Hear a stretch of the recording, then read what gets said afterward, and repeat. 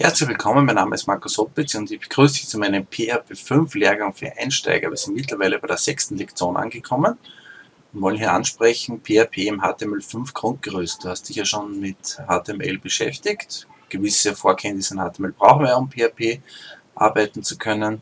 Hier nochmal der Hinweis, ich habe hier auch einen eigenen HTML5 Lehrgang.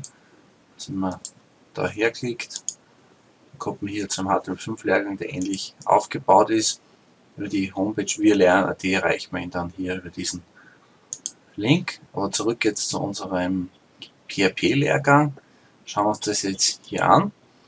Ähm, hier haben wir das sogenannte HTML-Grundgerüst. Ohne Zeilennummern sehen wir das dann hier. Und eingeleitet wird das Ganze hier mit dem sogenannten Doctype.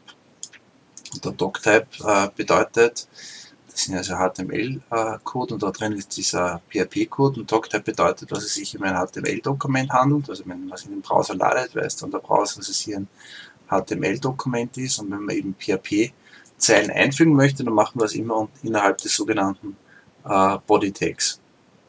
Wenn ich das jetzt hier zum Beispiel äh, mir angezeigt haben möchte, dann schaut das hier dann so aus. Hallo, ich bin ein PHP-Skript. Das wird dann hier erzeugt. Und man sieht dann im Prinzip nur das, was innerhalb des Polytext steht und hier mit Echo in dem Fall ähm, ausgegeben wurde.